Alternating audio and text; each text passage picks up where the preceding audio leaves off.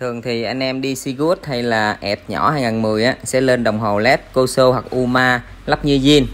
Tuy nhiên em trai này muốn à, lắp một cái đồng hồ GX2 bắt buộc phải chế à, bảo cổ sao Thì đây là mình đã chế hoàn thiện rồi như anh em thấy ha. Bây giờ chỉ việc đem phòng sơn sơn lại nữa màu zin đen zin nữa thì tuyệt vời.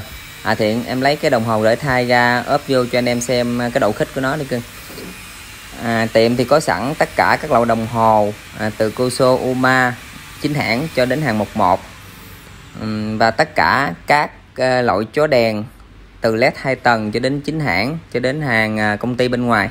Như anh em xem ha đây là Seagood 2 tầng nè led nè đèn lái nè và các uh, dòng đồng hồ.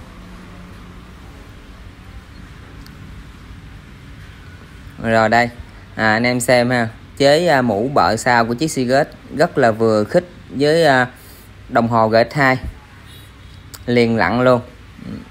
Giờ em đem lên à, trên phòng sơn á. Xả nhẹ lại một cái nữa sau đó à, à sơn lại đang nhắm zin đi rồi xuống lắp à, hoàn thiện à, cái đồng hồ cho khách đi. Rồi anh em có muốn à, có nhu cầu á mà lên đồng hồ led à, theo xe không cần phải chế cháo hoặc là chế bợ cổ chế nhựa thì tiệm mình sẵn sàng à, làm cho anh em nha.